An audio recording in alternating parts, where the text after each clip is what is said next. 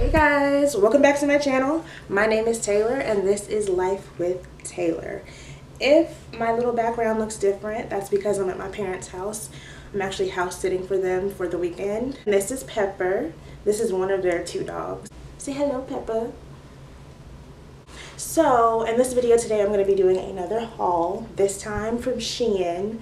This is my first time ordering from Shein, so let's get into it. First up is this green two-piece set. It was listed on the website as being picked out by Katy Perry.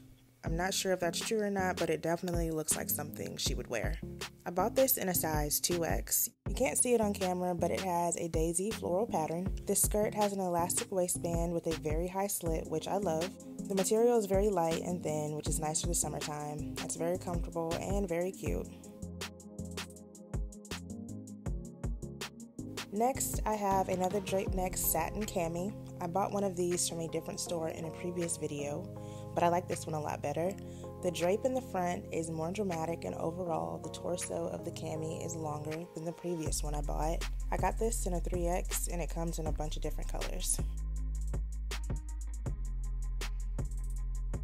Up next are these denim shorts with this embroidered pattern on the front. The website lists the design as being a tribal print, but it just reminded me of the 90s. I got these shorts in a size 3X and they fit pretty well everywhere except in the thigh area. It's a little tight, but bearable. They fit very comfortably everywhere else, and I just think the pattern in the front is so cool and unique. I cannot wait to wear these.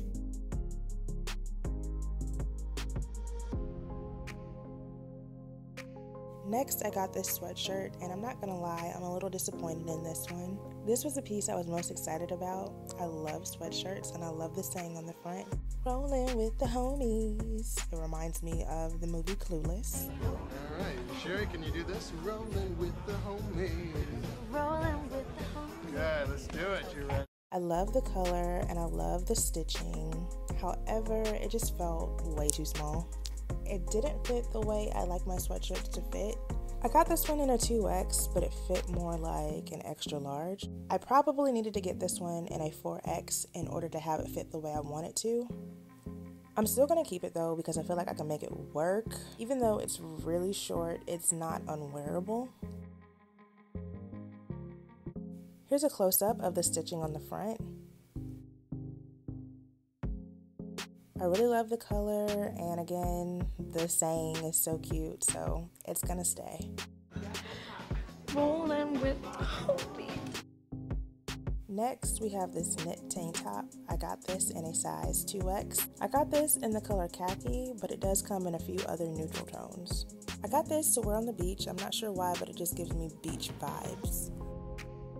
The knitting is a lot better quality than I was expecting. It's very comfortable and not itchy like some other knittings can be sometimes. And I love the distressed detail at the bottom. Overall, I think this is a good piece. Next up, we have this navy and white striped belted romper. I wasn't feeling this one at all. The top of the romper has this button to keep it closed, but when I button it, it makes the stripes look weird and curved. Then when I unbutton it, you can see the button on the side, and I'm just not feeling how it looks open.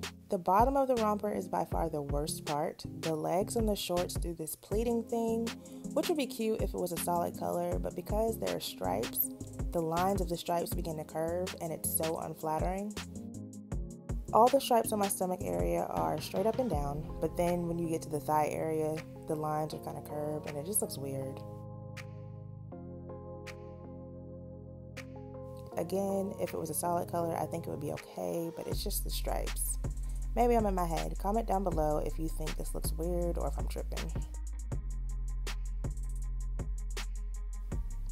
Moving on to a better romper. I got this leopard print romper in a size 3X. It also comes in a few different animal patterns. It has a tie in the front and a cutout in the stomach. It also has these really nice bell sleeves. It fits everywhere comfortably, but I do have some extra space in the shoulder collar area, but it's not that noticeable when I'm wearing it. This is probably my favorite piece in the whole haul, and I can't wait to wear this one 10 out of 10. Last but not least is this ruffle bikini. I don't think I've ever worn a bikini in my whole life, so This is me stepping out of my comfort zone. I got this one in a 2X. The bottoms fit perfectly, but I could have used a size up in the top, but it's okay.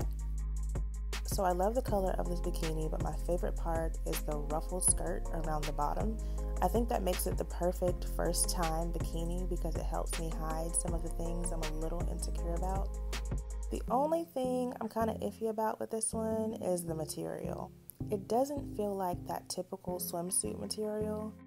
So I don't know if you guys can see up close, but it actually has that ribbed texture. So with this material and the ribbed texture, I'm not sure how it would hold up in water, but I guess we'll find out. Alright you guys, that has been the end of this haul. Thank you guys so much for watching. Don't forget to like and subscribe, and I'll see you next time. Bye!